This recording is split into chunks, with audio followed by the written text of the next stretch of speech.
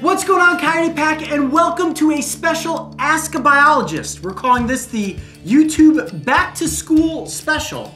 That's because you guys are going back to school. And we figured why not team up with YouTube to launch a special back to school playlist that's a bunch of educational Brave Wilderness episodes to accompany this special Ask a Biologist edition. So when they're back to school, they're gonna have supplemental material that's coming from us to learn more. Which pretty much officially makes us not only substitute teachers, but legit teachers at this point. We graduated, we're official teachers. I think we're officially teachers now. Okay, so you know, you're gonna see that in your report card. So Mario, to get this kicked off, we're gonna do a, a special one that'll be kind of like our Ask a Biologist that you've seen before, Mm-hmm. but we're really honing in today on biomes. Biomes, yeah. You know, biome is essentially where an animal lives, right? The reason why an animal looks the way it does is because it has adapted to living in a certain area. Right. So we're going to go through a handful of different biomes. We're going to talk to you about some of the animals that live in those biomes. Yep. And by the end of this, you're going to have an incredible education, a wealthy knowledge of the different biome systems on our planet and some of the animals that live in them. We're going to have props. We're going to have vocabulary words. We're probably going to have some craziness. And Mario, if you're ready, I'm ready. I know the Coyote Pack is ready. Let's get into the first biome, which is one of my favorites, rainforest. Rainforest. I have to agree with you. It is one of my favorites as well. Rainforests are probably one of the most biodiverse ecosystems in the world. So, what defines a rainforest as being a rainforest? Great question. Now, there are actually different types of rainforests, believe it or not. There's what we consider our traditional rainforests that are in higher temperature uh, zones. Uh, those are traditionally just called tropical rainforests. And then there are temperate rainforests, which are actually in cooler elevations. But nonetheless, they are rainforests because they all share one thing in common. What's that? Rain? Rain Okay. right? So a rainforest needs to have a high uh, yield of rain every year. Uh, so basically, rainforests are some of the wettest habitats in the world that are not actually oceans or freshwater habitats. Sounds musty and moldy and damp and miserable most of the time. And whether you're in a cold rainforest or a hot rainforest, you're always going to be soggy. You're gonna be soggy, but the animals that live there thrive in these temperatures and in these moist conditions. Okay. So let's get into some of the stats when it mm-hmm. comes to rainforests because this is really interesting. I'll read off this first one here. Rainforests cover only 8% of the Earth's surface, which equates to only 3% of the planet's total surface area. Right. I would have imagined that there would be way more rainforests than that, but that's partially because we're destroying rainforests every year. And that's crazy because, as we mentioned earlier, rainforests account for half of all terrestrial biodiversity in the world. Mind boggling. Yes, so you have this small percentage that is actually very, very important when it comes to ecosystems and species. Okay. So the world's largest rainforest is. The Amazon. Right. Let's see, I've got the trusty globe here. I don't know if kids nowadays have one of these. Heck yeah, all kids need to have globes. Kids of all ages, young kids, adult kids, you can never go wrong with a globe. Now they're digital, I think. It's Google Earth. Google Earth. Right. But this is like the old school Google Earth. Yeah, so the Amazon is located in South America. And the Amazon is 40% of South America. Yeah. Which is essentially equal to the size of the continental United States. That is that is my favorite fact right there. So Yeah. Think about it. The United States, continental United States, is about the same size as the Amazon. You can call the Amazon the lungs of the world. And why is that? How does how does this process work? So you can think of a rainforest as a filtration system. Mm-hmm. They're very important in one key factor, and that is absorbing carbon dioxide from mm-hmm. the atmosphere. So carbon dioxide is a greenhouse gas, which means it actually goes up into the atmosphere, gets stuck, and will over time warm the earth. So at mm-hmm. this moment in time, we are going through exceeded levels of carbon dioxide, which are warming the globe. Now, what the rainforest does, particularly trees, is they do something called photosynthesis. Plants essentially eat carbon dioxide. They eat them, and then they poop out oxygen. Which is, of course, how we and all the other animals survive. Right. Every year the Amazon absorbs 2 billion tons of carbon dioxide. That's a lot of carbon dioxide. It is. So, with that said, what if we start removing trees and we start causing deforestation in the Amazon rainforest and other rainforests around the world? More carbon dioxide, warmer temperatures, less oxygen for us as humans. Yeah. So the preservation of the rainforest is incredibly important. Now, not only because of the production of oxygen, this lung type system for our planet, but because of the species that live there. So let's get into uh, a couple of our favorite animals that call the rainforest home. Right. So once again, the rainforest is home to half of the world's terrestrial species. So huge biodiversity.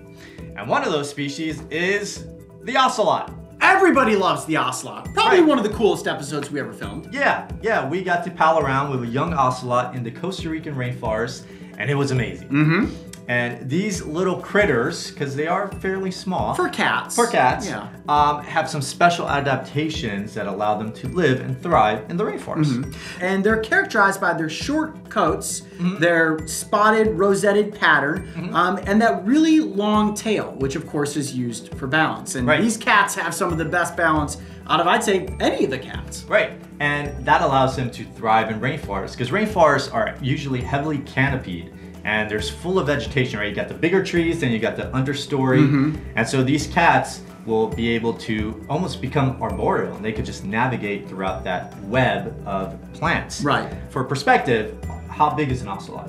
Uh, on average, maxes out at around 30 pounds, right? Right. Yeah, so the body size, I mean, it's bigger than a house cat. I'd say about the size of a medium dog. Not very big, but that's okay because they have a lot of small things Right. that they can actually hunt. Right. So what do ocelots uh, hunt? Well, anything pretty much that will fit into their mouths. So, reptiles, amphibians, birds, smaller mammals, they'll even take advantage of carrion if they find something that's dead in the rainforest.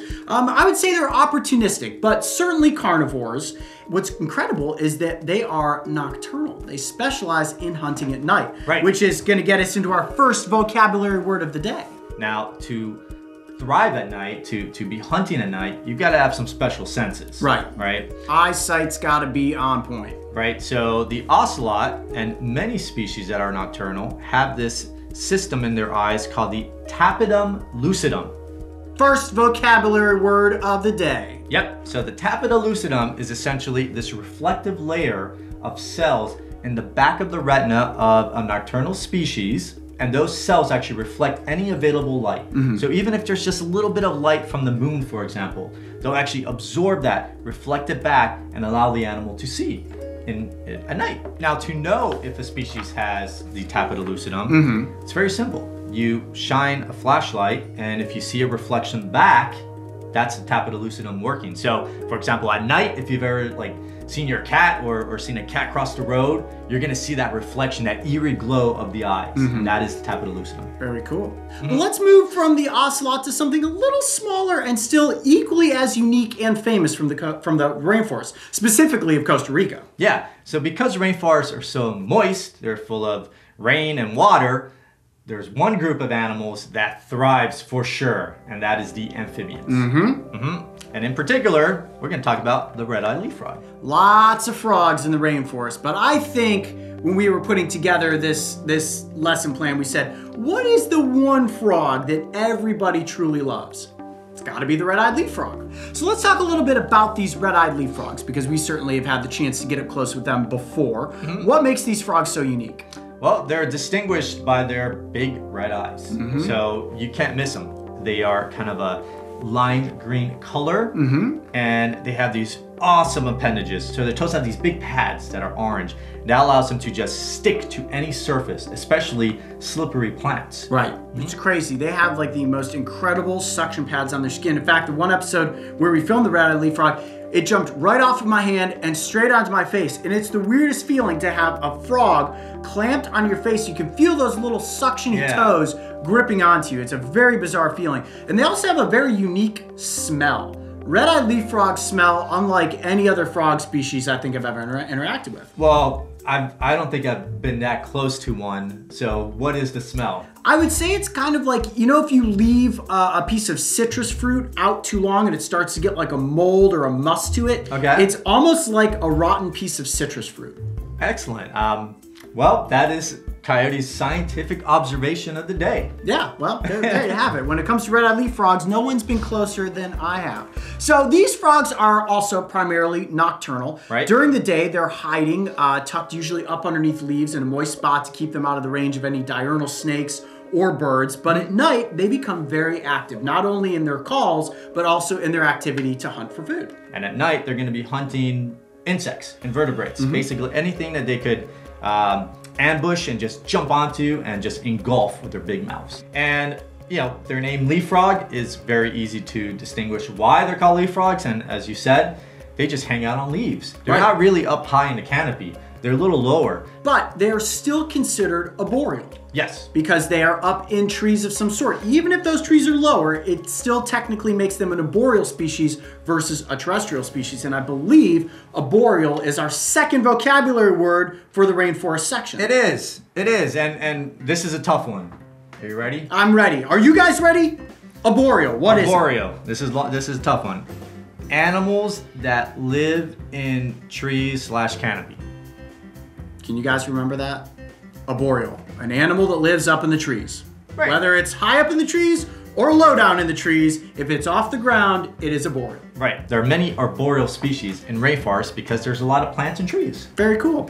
Well, that pretty much wraps it up for the world of the rainforest. I feel like we could go on forever talking about the creatures there, but let's transition from the moisture world of the rainforest into the dry world of the deserts, another mm-hmm. one of our planet's most diverse ecosystems. Even though, for the most part, you think of deserts as being these vast barren wastelands, they actually have a lot of creatures living there. That's correct. And it's a vast difference, contrast from a rainforest to a desert.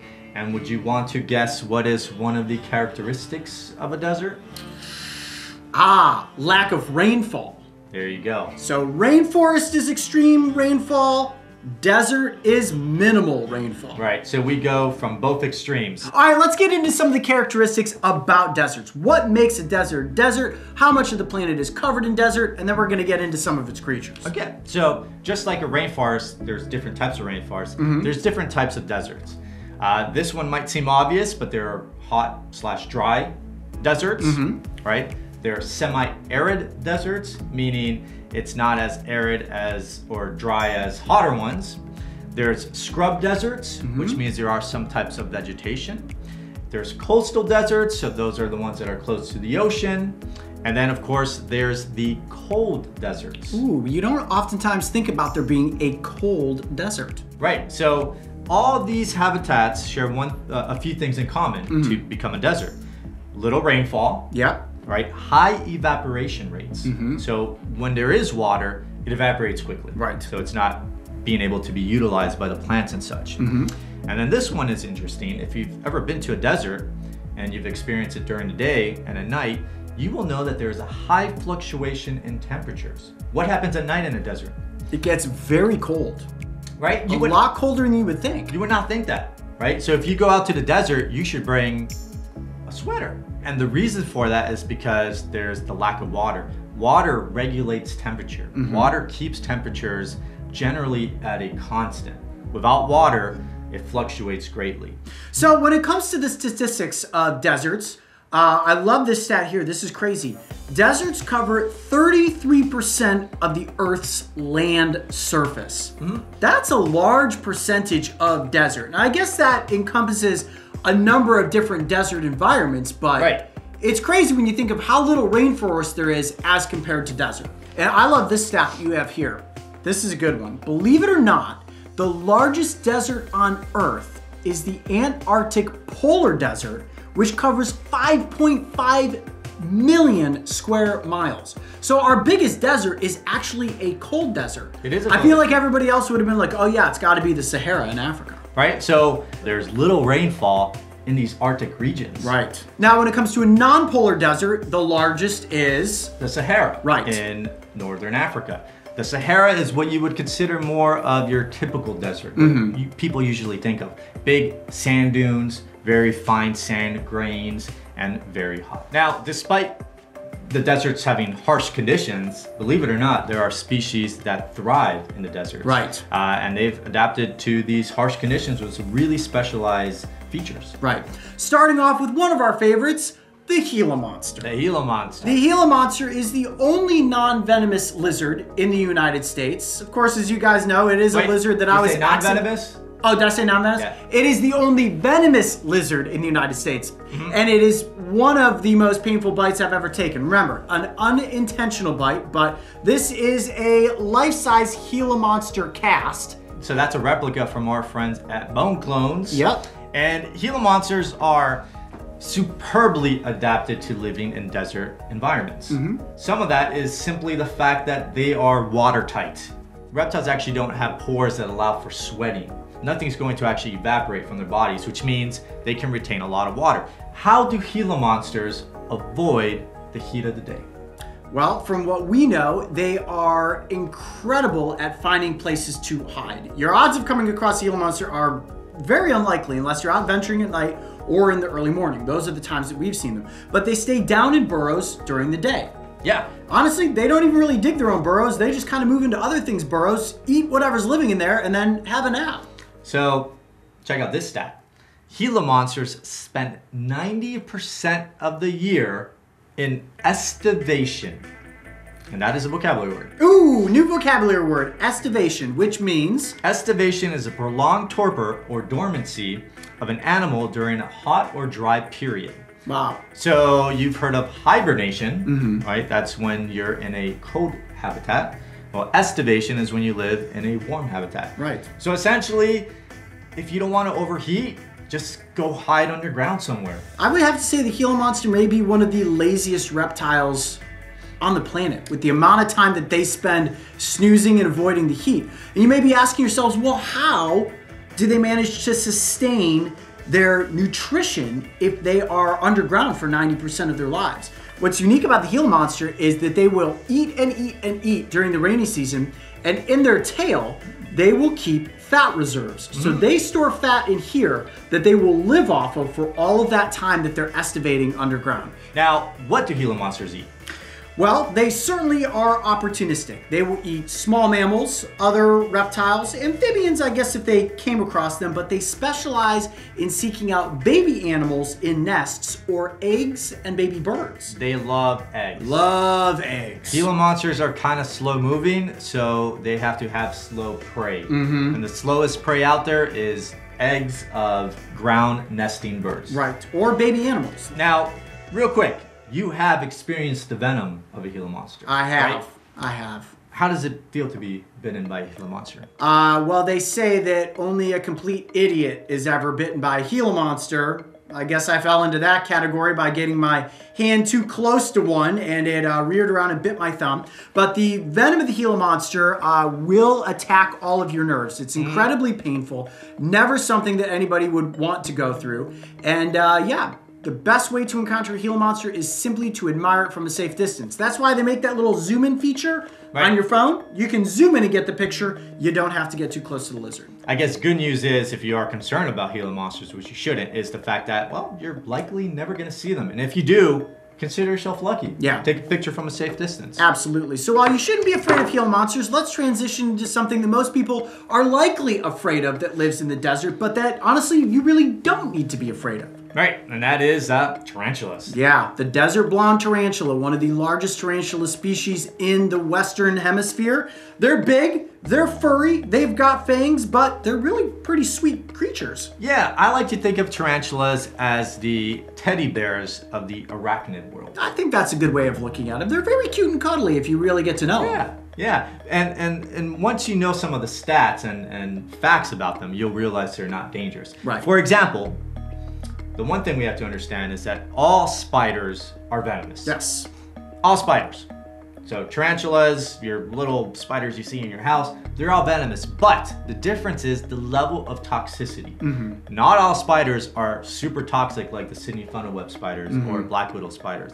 And luckily for us, all tarantula species their venom is not toxic enough to be considered dangerous to a human. Right. Because if it was, then that would be scary because they are massive spiders. Yeah, so size doesn't necessarily equate to toxic venom. That's about the size of a, a normal desert blonde tarantula. Hmm? Um, if you see one walking around in the desert, you can get close to it. You can take pictures. It might try to scurry off. It's not running at you. It's trying to get away, but it's definitely not something you need to be afraid of. And they're very common, and they are primarily nocturnal, so they'll come out at night. Right. During the day, they'll be hiding underground or under logs and rocks.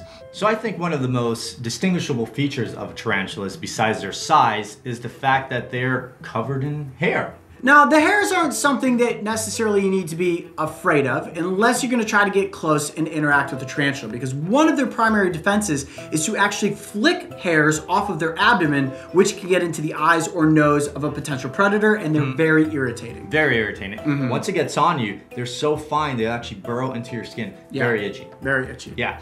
So the hairs also pick up vibration and pressure in the environment. Mm-hmm. So when a tarantula is crawling to the desert, anything that's moving, believe it or not, will the vibration will actually go through the spider and they could actually feel it through all those little tiny hairs. Now, I say we wrap up on the spiders and the desert, but I love this last fact that you've got here. It is estimated that 5 out of 100 people in the United States alone have a phobia of spiders, which is our last vocabulary word in the desert section arachnophobia. Arachnophobia, which is simply the fear of arachnids and spiders. Spiders, scorpions, solpugids, uh, vinegaroons, like if it's an arachnid and you're afraid Ticks. of it, ticks, Are technically arachnids? you've got arachnophobia. But hopefully, a lot of our videos, this one even included, is helping anybody out there that's afraid of spiders overcome their fear of them because they do an incredibly uh, positive job for the ecosystem by eating a lot of the pest insects that Right. you don't want to get bugged by. Okay, moving on to our next ecosystem. This is the world of fresh water. yes, because when it comes down to it, we live in a water world. Right. Yeah. Now, freshwater habitats are very unique and not as common as you would think. Hmm, okay. So, what are some of the characteristics of freshwater? I see here that they are divided into lakes, ponds, streams, rivers, and wetlands, which would Right. be, you know, like the marshy, swampy area where there's lots of snapping turtles. Right. What affects a freshwater habitat is the flow of water, right? So some areas have a high flow of water. Some areas are what we call stagnant, they're just still. The amount of light that actually goes through the water, which is going to affect your plant life. Mm-hmm. The salinity, Which is the salt. which is a salt, right? So salinity is very important, and a freshwater habitat has to be less than 1% saline in order to be considered freshwater Okay. temperature, right? So the Very temperature of the water is going to be very important to the animals that are going to live in that habitat. And then, of course, there is the chemistry of the water. Now, don't worry, we're not going to go into crazy chemistry. You know, this is a this is a biology class, not a chemistry class. Uh, but the pH, the dissolved oxygen, and the nutrients that are in that water are going to vary depending on if it's a pond, a lake, a stream, and so on. So, when it comes to the statistics of freshwater ecosystems, I love this. This is just like the rainforest. Only 3% of the water on Earth is fresh. Now that's that's a pretty crazy stat because what is the one thing that all terrestrial animals need to survive? Fresh water. Fresh water. So essentially fresh water is not an unlimited resource on earth. Fresh water is something that we constantly, especially as humans, have to be aware of and how we're getting that clean fresh water. Right. So when it comes to largest places of fresh water, obviously the collection of the Great Lakes is a, a a great example. Uh, Superior, Michigan, Huron, Erie, and Ontario are five Great Lakes that Right. make up the largest surface freshwater system on Earth. Right. So surface fresh water. Mm. Now here's another stat. Of that 3% of water, only 0.3% of that is found in the surface water, such as these lakes. Wow. Now the rest of it is actually in frozen glaciers. Wow. Which is leading to the fact that glaciers are melting right now mm. because of global temperatures increasing. Right. So we are losing a lot of our fresh water. Right, because that water is melting and then going into the ocean. It's going into the ocean and now becoming more saline and Yeah. distributing. So Pretty interesting facts. Now, when it comes to species that live in fresh water, there, of course, is a world of animals we could talk about, but we're going to hone in on a couple of our favorites. The first one being one of your favorites, Mario, the American alligator. American alligator. Got an awesome replica alligator skull here from our friends at Bone Clones. Watch Yep. out for those teeth. So let's talk about alligators and what makes them so unique. Mm-hmm. So the American alligator primarily lives in freshwater habitats. Mm-hmm. One of the most famous of these habitats is, of course, a big wetland ecosystem called the Everglades, Right. which is found in Florida.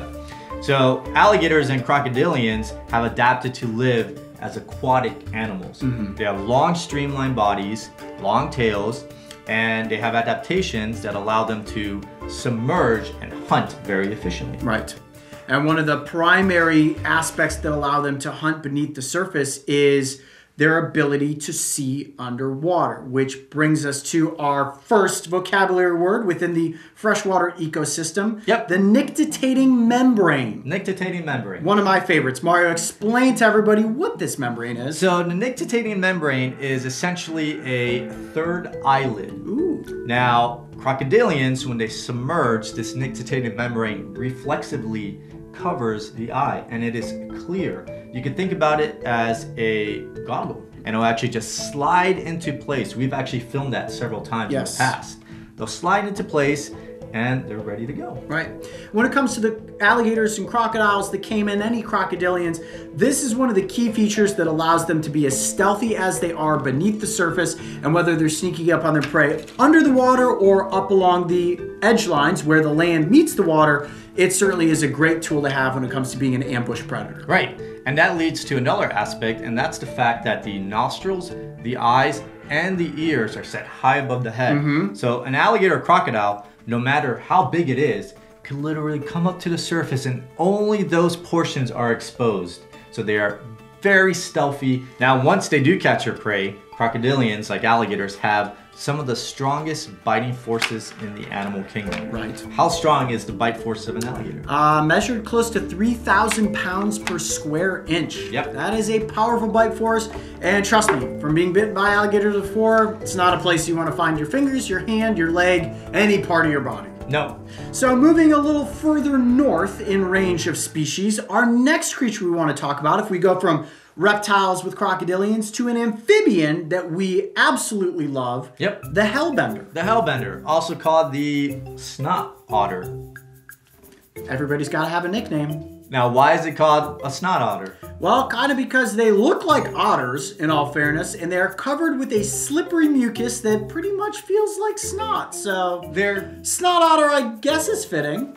when they're out of the water, they're very boogery. Yeah. Is that a word, boogery? Yeah, boogery's a good word. It's because when they're underwater, they're very buoyant. You know, they can kind of effortlessly move on the, the surface or the, mm-hmm. the basin of a creek or river system. Right. But what makes these salamanders so unique? They are the largest salamander species in North America. Yep. And in terms of the world, they rank third. Hellbenders can get close to two feet long. Yeah. And weigh four pounds. That's like the size of a, of a toy chihuahua. Right. They could probably eat a chihuahua. I don't know about that, but I think it would be a pretty cool matchup to see a Chihuahua going toe to toe with a Hellbender. My money is on the on the hellbender. I think the Chihuahua's probably going to win. They're pretty feisty. I don't know. All right, put your money on it. So these two feet long salamanders are gonna thrive in freshwater habitats and they eat mainly Crayfish. crayfish. They love their crayfish. Everybody loves a surf and turf menu, especially when that surf is fresh crayfish. Yep, and yeah, one of the stats is they basically 90% of their diet is crayfish. Right. Yeah, it's crazy. They kind of crunch them up, suck out the insides, and then spit out the exoskeleton. Now, because hellbenders live in fresh water, um, they actually have to have a lot of dissolved oxygen in their water because they don't necessarily breathe through lungs. They breathe through their bodies. Now, the reason why they look so boogery is because they have all these folds along their body. Right. And those folds actually absorb oxygen. They, they help in respiration. Mm-hmm. So when you find hellbenders, you're gonna find them in fast flowing streams. They're gonna be under rocks, the streams are gonna be moving, the water's gonna be moving, it's gonna be allowing the oxygen to flow through their bodies, and they're gonna be healthy. And in fact, hellbenders are indicator species. Yes. Right? So what does that mean? An indicator species is something that tells you how healthy an environment is. If you find a hellbender or a mud puppy, or really any salamander species, it means there is not a lot of pollution within that water ecosystem. Because mm-hmm. remember, like Mario was saying, those amphibians absorb a lot of their environment through their skins. So where there's pollutants, you will not find the amphibians. And in a healthy ecosystem, a healthy stream environment, hellbenders can live up to 30 plus years. That's crazy. They're, they're long lived. Yeah, very Yeah. cool. Okay, so that's gonna wrap it up for the hellbender and the freshwater ecosystem. And now let's transition into our last biome, the world of marine creatures. Right. Earlier, we said that we live in a water world. Mm-hmm. And that is because, here's the official Google Maps globe. Yeah. What color is the globe? Blue, mostly. Mostly blue. And that is because the world is primarily covered in salt water. Right. A lot of water out there. What defines the marine world? So there's different types of marine habitats, just Okay. like there were different types of freshwater habitats. Mm-hmm. You have pelagic habitats, which is the deeper mm-hmm. oceans. You have the sea floor, which, believe it or not, is an environment mm-hmm. unto itself. You have coral reefs, which are super biodiverse. Mangroves, tidal habitats, and you have estuaries. Mm-hmm. So these are some of the primary marine habitats that different species will live in. Hmm. So they differ in a number of ways. Let's go through a couple of these points. The first being availability of light, which you hmm. can certainly see from the pelagic region to the estuaries or the tidal pools. There's a big difference between the amount of light that's reaching, or I should say, penetrating through the water to make it into the world of the organisms that live there. Correct. So that will lead to the fact that the average depth of the oceans is 2.3 miles deep. Wow. So somewhere that's 2.3 miles deep, you likely will never get that light that's going to penetrate all the way to the bottom, Right. right? Which means those animals there, well, they can't do photosynthesis, so mm-hmm. there's likely no plants. Whereas a coral reef habitat or a tidal habitat, you're going to have a lot of light availability. Right. So with that depth also comes in the play of temperature. Temperature plays a huge part in what sort of animals can survive in different types of water. Right. So when you go deep down into the oceans, you start to get a lot colder mm-hmm. because cold water is more dense than hot water. One of the key things that makes up a marine ecosystem is the salinity, the amount of salt in the water. For it to be a marine environment, it has to be salt water. So let's get into some of the actual stats. And I mm-hmm. love this. If only 3% of the Earth's water is fresh, that means 97% is salt water. And that means that when you take into account the total surface area of the Earth, 71% of it is covered in oceans or salt water. That's a very large percentage of our planet. Okay, so let's transition into some of the species that we love in the marine ecosystem. And we can't talk about the ocean without talking about sharks. Specifically, today we're going to talk about the tiger shark, the largest marine predator, or shark, I should say, that we have ever been up close with in the water. We're picking the tiger sharks because you have had a very close encounter with a tiger shark. Face to mouth. Yeah, that, that was pretty crazy. But what we learned from that experience and what hopefully the audience learned from watching those videos is that tiger sharks are not that bad. Sharks in general are not that bad. If they can clearly see you as a human, they're not going to go after you. No, and they've managed to survive on our planet for more than 400 million years, and their mm-hmm. body has changed very little in that amount of time. So they've found incredible ways to adapt Right. to surviving within the ocean ecosystem. Now, one of those adaptations is sharks are very sleek. They're mm-hmm. very hydrodynamic. Mm-hmm. That's because their entire skeleton structure is made out of cartilage. Right. Which is very unique as compared to other fishes. In fact, the only bone that you find really in a shark is its jaws, and then of course its teeth are separate from the jaws. But when you, that's why in the in like museums you don't see shark No. skeletons. There aren't shark skeletons. There are shark jaws and teeth, but the rest of it just disintegrates when a shark dies. Yeah. Now, cartilage is very lightweight and it's mm-hmm. very efficient. It's more flexible. That allows the animals to be very efficient in the water. Now, what's unique about the teeth is that they're constantly growing and replacing themselves mm-hmm. throughout the life of the shark. So, no matter what it's chomping onto, if it breaks a tooth, loses a tooth, there's just another tooth waiting in line to replace the tooth that was lost. A shark could literally go through thousands of teeth in a lifetime. They have an incredibly powerful bite force. Now, when it comes to humans and sharks occasionally interacting, one of those reasons and one of the species that most commonly interact with humans are tiger sharks mm. because any human that's on a surfboard or a paddleboard that's out there in the water, from underneath, that human looks like a sea lion or a sea turtle. So, mm-hmm. tiger sharks are notorious for having a bite out of humans to determine whether or not it's something that they can consume. Yeah. Now, when you take uh, into account the bite statistics and how many humans are going into the marine habitats every day, Mm-hmm. literally, uh, you realize that the statistics are really small. Right. In fact, you're more likely to get hit by lightning than to ever get attacked by a shark. Right. And in many instances, sharks attack humans based on misidentification. Uh, sharks have a really cool electroreceptor organ, which is our next vocabulary word Yep. here in the marine section. Ampullae of Lorenzi. Am I saying that right? Ampullae of Lorenzini. Of Lorenzini. That's a that's a tough one. We'll put that up on the screen. Yeah. So what is this unique electromagnetic receptor? So the Ampullae lorenzini allows sharks to basically detect their environment through electrical receptors. Hmm. So all along the snouts of many shark species, got these tiny little receptors, which will actually detect the muscle movements from fish, electrical muscle movements from fish. So every animal gives off a little bit of an electrical pulse with our muscles. Uh, so when a shark is swimming to the ocean, even if it's murky water and they can't necessarily see, they're going to rely on that ampullae lorenzini to detect their fish.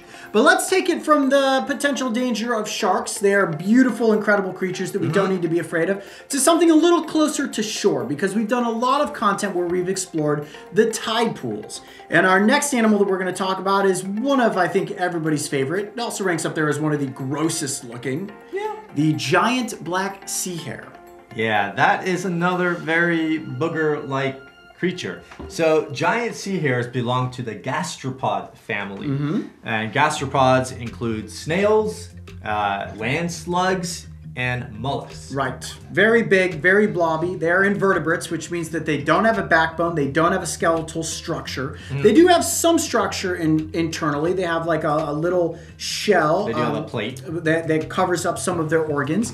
Um, but they're they're massive. They can grow to three feet in length and weigh 30 pounds. Now the one that we caught wasn't quite that big, but it was as big as my arm is long, and it was heavy. It was probably 10 to 12 pounds. They are herbivores, and they primarily feast upon seaweeds. Okay. Um, they're kind of like these little grazing cows, or like a bulldozer that just slides along the basin of the tide pool, and they've got this really scratchy tongue called a radula. That radula is almost like a cheese grater as it like combs over algae, seaweeds, any sort of plant material that this giant gastropod can get its cheese grater mouth on, it's fair game. It is a large slug species, the largest, and there are a couple of other sea hare species, in fact, many sea hare species.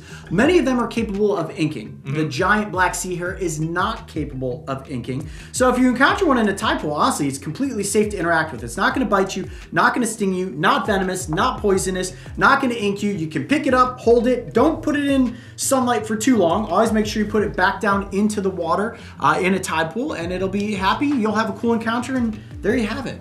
Giant slugs.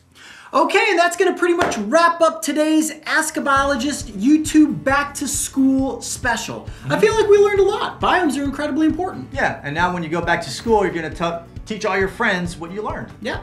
Now, in the meantime, I know a lot of us are doing school from home right now. What we've done is procured an amazing list of episodes, the Back to School Brave Wilderness Special. Hmm. And it's got a number of different animal species, all picked by us from the Brave Wilderness channel, including a number of the animals we talked about today. Excellent. So should we give them some homework? Well, yeah, the homework is to go watch the entire playlist of videos. That sounds good. And then I want a book report or a video report for each of those videos. A thousand words, no double space. You gotta have citations, and I want it on our desk by Monday morning. Whoa, whoa, whoa, whoa, whoa. That sounds like a lot of homework. How about we meet somewhere in the middle? What if they just write in the comment section on all these videos why they like them so much or what they learned about that animal? Okay, that's fair enough. That's probably fair, right? All right, guys, thanks so much for joining us on this YouTube Back to School special. I'm Coyote Peterson. I'm Mario Aldecoa. Be brave. Stay wild. We'll see you on the next adventure. Thanks for watching, guys.